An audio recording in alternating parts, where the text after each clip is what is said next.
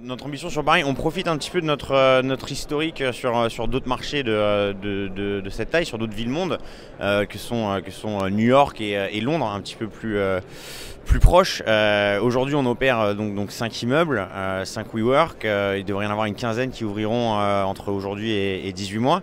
mais à titre de comparaison avec Londres, où on opère un petit peu plus de 40 immeubles aujourd'hui, on, a encore un, on peu de chemin, donc, notre ambition est là. notre ambition est aussi nourrie par la réussite de nos immeubles. Euh, l'absorption est, d'ailleurs même plus importante à Paris qu'elle ne l'est à Londres. On voit que le taux d'occupation à Paris aujourd'hui est de 98%. Les immeubles ouvrent plein, comme euh, le France euh, au 1er mars, qui dans la moyenne du marché a ouvert à 98%.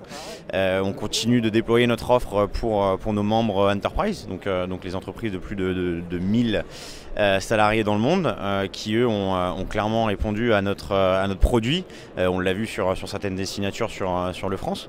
Donc non, on est dans une position assez agréable. Euh, on profite du marché euh, et, on va essayer de continuer à grandir euh, aussi bien en France et à l'étranger. donc trois territoires aujourd'hui qui s'organisent autour de leurs capitales respectives. le Royaume-Uni, le UK Plus à Londres, l'Allemagne et l'Europe du Nord à Berlin et la France et l'Europe du Sud depuis, depuis Paris.